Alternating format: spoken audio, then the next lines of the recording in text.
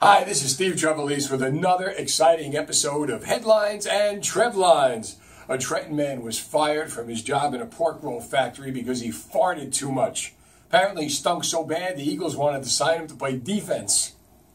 Which brings me to the priest who got arrested for aiming a gun at an eight year old Cowboys fan. As a Giant fan, I say, what's the problem? Police said a man was stabbed during a bar fight in an Atlantic City casino.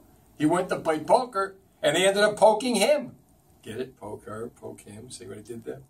Drivers in New Jersey and New York pay one third of all tolls collected in the United States. Remember, if Sonny Corleone had E-ZPass, he'd be alive today.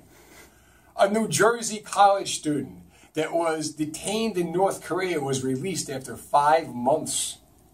He then thanked the North Koreans for making him appreciate the cafeteria food at his college.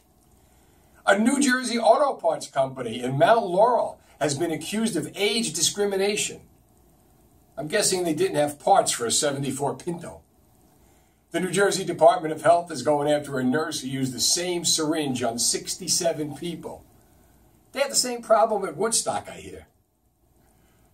Rutgers Newark has been named the most diverse college campus in the country, which proves that kids of all races can't get into the good schools. A Seton Hall study has found that nighttime texting is linked to bad grades. But the co-eds are scoring better than ever. Thank you very much, and thanks for watching. And listen to me on New Jersey 101.5, 7 to midnight, Monday through Thursday. You can tweet me at Real Steve Trev, follow me, also at NJ1015.